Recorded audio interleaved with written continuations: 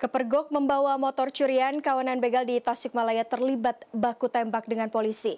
Sementara dua orang pria di Cirebon terpaksa dilumpuhkan polisi dengan tembakan setelah keduanya sempat menganiaya seorang pria.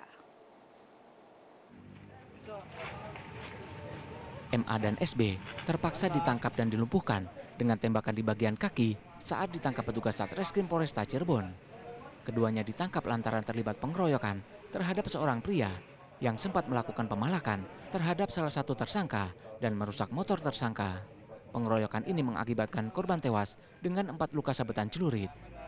Selain mengamankan kedua tersangka, polisi juga mengamankan barang bukti berupa celurit dan pakaian korban yang berlumuran darah. Meminta jatah kepada pelaku, dan pelaku membuka warung di sekitar lokasi kejadian. Kemudian eh, ketika pelaku tidak memberikan uang yang diminta oleh korban. Kemudian korban merusak kendaraan bermotor milik pelaku sehingga pelaku merasa sakit hati dan timbul dendam. Ketika korban lewat di depan toko, secara spontan pelaku langsung melakukan penganiayaan dengan menggunakan senjata tajam dibantu oleh uh, saudaranya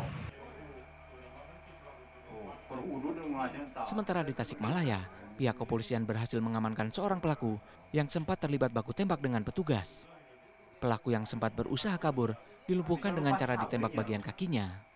Sebelumnya tanggal 26 Maret lalu, sejumlah pelaku disergap polisi saat membawa lari motor hasil curian. Namun pelaku sempat melakukan perlawanan hingga menembakkan senjata api dan terlibat baku tembak dengan petugas. Uh, Satreskrim Polres Tasikmalaya sudah berhasil mengungkap kasus curanmor berawal dari curanmor kemarin curanmor di Mangunreja kemudian si tersangka itu lari ke arah selatan. Dia dilakukan pengejaran dan terjadi baku tembak. Bisa dilihat yang dipakai oleh si tersangka.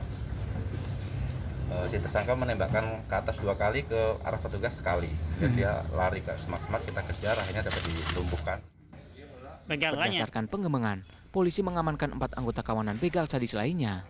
Mereka berperan mulai membantu perampokan hingga penadah motor hasil curian.